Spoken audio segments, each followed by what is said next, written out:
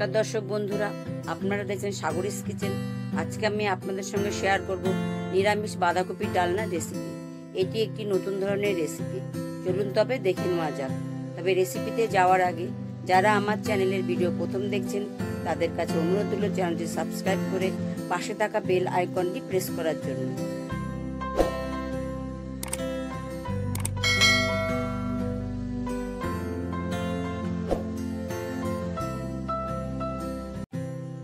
নিরামিষ বাঁধাকপির ডালনা বানানোর জন্য এখানে আমি নিয়েছি। এখানে আমি একটি মাঝারি সাইজের বাঁধাকপি চার ফালি করে কেটে তাকে এইভাবে পিস পিস করে কেটে নিয়েছি। কেটে এই পাতাগুলোকে আমি নারকেলের শোলার কাঠি দিয়ে আটকে নিয়েছি। আপনারা চাইলে সুতো অথবা টুথপিক দিয়েও আটকে নিতে পারেন, যাতে বাঁধাকপির পাতাগুলো খুলে না যায়। প্রথমে এগুলোকে আমি হালকা করে ভাপিয়ে নেব। ভাপানোর জন্য কড়াইতে আমি দিয়ে দিচ্ছি পরিমাণ মতো জল।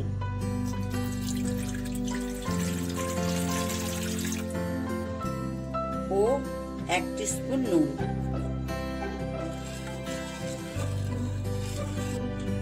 জলটা ফুটে উঠেছে। এবার আমি এর মধ্যে দিয়ে দিচ্ছি বাঁধাকপির পাতার পিসগুলো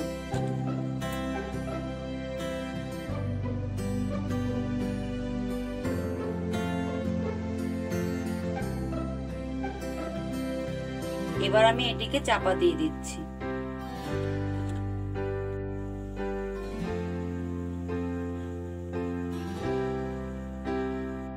পাঁচ মিনিট পর ফিরে এলাম, ঢাকাটা খুলছি। আমি গ্যাসের ফ্লেমটা অফ করে দিয়েছি। আপনারা দেখতেই পাচ্ছেন এগুলো ভাপানো হয়ে গেছে। এবার আমি এগুলো জল ঝরিয়ে নেব। এগুলোকে আমি জল ঝরিয়ে ঠান্ডা করে নিয়েছি। এবার আমি ব্যাটার তৈরি করার জন্য একটি মিক্সিংগুলো দিয়ে দিচ্ছি। দেড় কাপ বেসন, এক স্পুন লঙ্কার গুঁড়ো, হাফ স্পুন হলুদ গুঁড়ো, এক স্পুন নুন ও এক স্পুন আদা ও কাঁচা লঙ্কা বাটা। দিয়ে দিচ্ছি হাফ কাপ জল। এবার সমস্ত উপকরণ ভালোভাবে একসাথে মিশিয়ে নেব। দিয়ে দিচ্ছি আর একটু জল।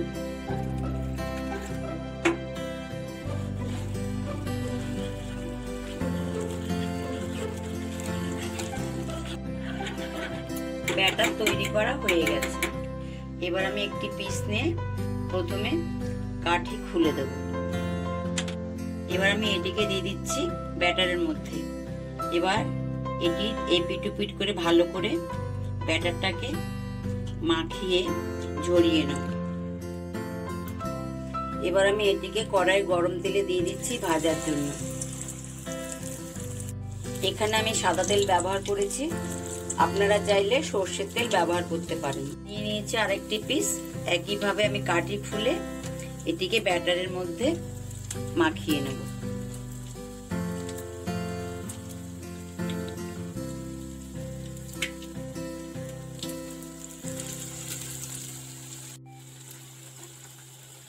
এভাবেই সবকটি পিস ভেজে নেব।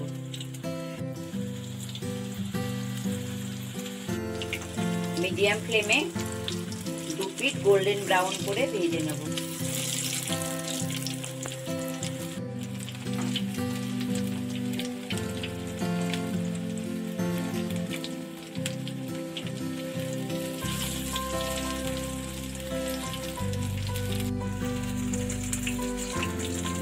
গোল্ডেন ব্রাউন করে ভাজা হয়ে গেছে।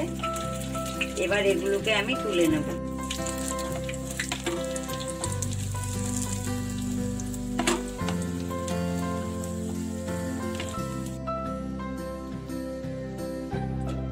একইভাবে সবকটি পিস ভেজে নেব।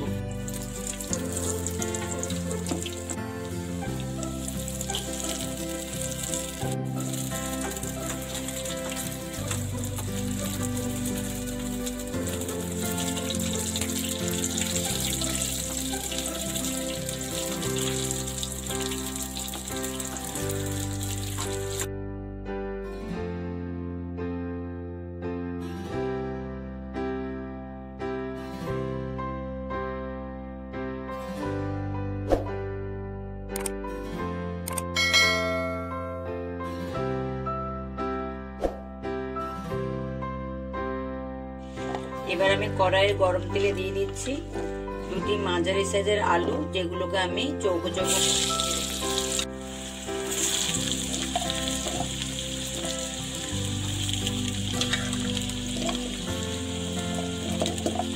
দিয়ে দিচ্ছি এক স্পুন নুন ও হাফ স্পুন হলুদ গুঁড়ো। আলু পিসগুলোকে হালকা ব্রাউন করে ভেজে নেব।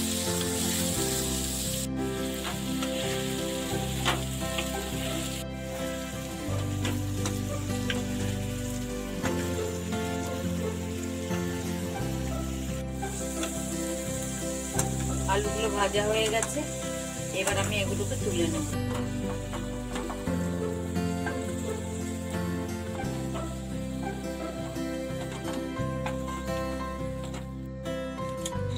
এবার আমি কড়াইয়ের গরম তেলে ফোড়ন হিসেবে দিয়ে দিচ্ছি। একে একে দুটি তেজপাতা, একটি শুকনো লঙ্কা, দুটি এলাচ, দুটি দারচিনি দুটি লবঙ্গ ও হাফ টিস্পুন সাদা জিরে। ফোড়নটা একটু ভেজে নেব।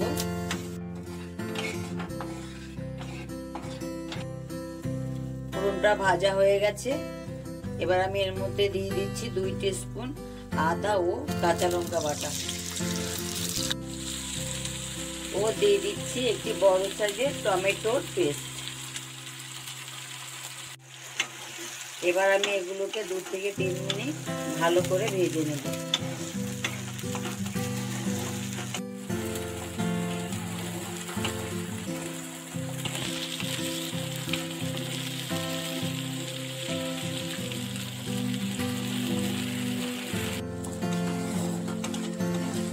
মশলাটাকে ভালো করে ভাজার পর আমি এর মধ্যে দিয়ে দিচ্ছি একে একে এক স্পুন হলুদ গুঁড়ো এক স্পুন ধনে গুঁড়ো, এক স্পুন জিরের গুঁড়ো, এক স্পুন কাশ্মীরি লঙ্কার গুঁড়ো,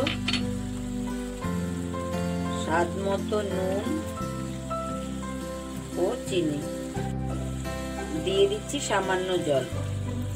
এবার সমস্ত উপকরণ ভালো করে মিশিয়ে কষাতে থাকব।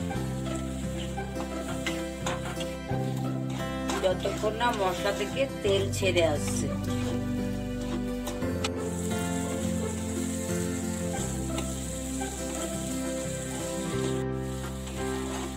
নিত্য নতুন রেসিপির আপডেট পেতে আমার চ্যানেলটি সাবস্ক্রাইব করে পাশে থাকা বেল আইকনটি প্রেস করতে ভুলবেন না।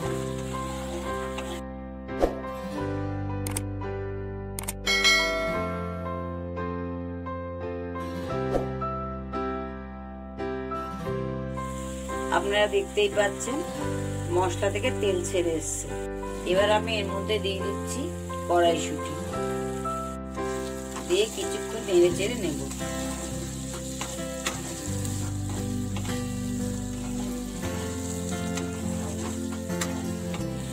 এবার আমি এর মধ্যে দিয়ে দিচ্ছি এক কাপ জল।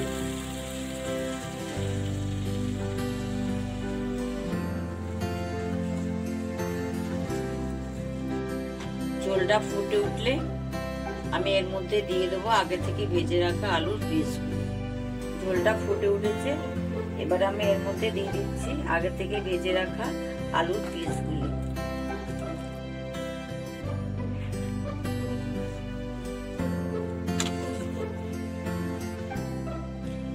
এবার আমি আলুগুলো যাতে ভালোভাবে সিদ্ধ হয়ে যায়, তার জন্য এটিকে পাঁচ মিনিট মিডিয়াম ফ্লেমে চাপা দিয়ে রেখে দেবো। পাঁচ মিনিট পর ফিরে এলাম, ঢাকাটা খুলছি। আমি একটু চেক করে নিচ্ছি আলুগুলো সিদ্ধ হয়েছে কিনা। আপনারা দেখতেই পাচ্ছেন, আলু সিদ্ধ হয়ে গেছে। এবার আমি এর মধ্যে দিয়ে দিচ্ছি এক স্পুন গরম মশলার গুঁড়ো। ভালো করে মিশিয়ে দেবো।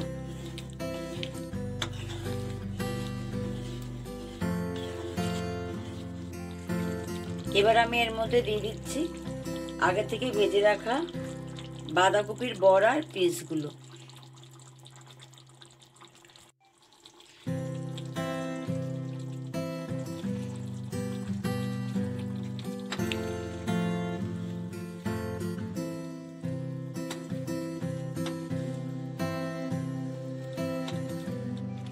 এবার আমি এটিকে দু মিনিট লো ফ্লেমে চাপা দিয়ে রেখে দেবো।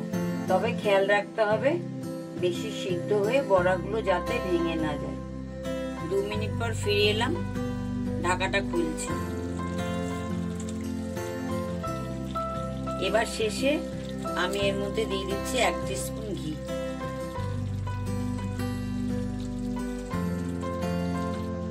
একটু টস করে দেব। দর্শক বন্ধুরা, আমাদের নিরামিষ বাঁধাকপি ডালনা তৈরি। রেসিপিটি কেমন লাগল? কমেন্ট বক্সে জানান। রেসিপিটি ভালো লাগলে লাইক ও শেয়ার করতে ভুলবেন না। আজ এই পর্যন্তই। নতুন ভিডিও নিয়ে আবার দেখা হবে।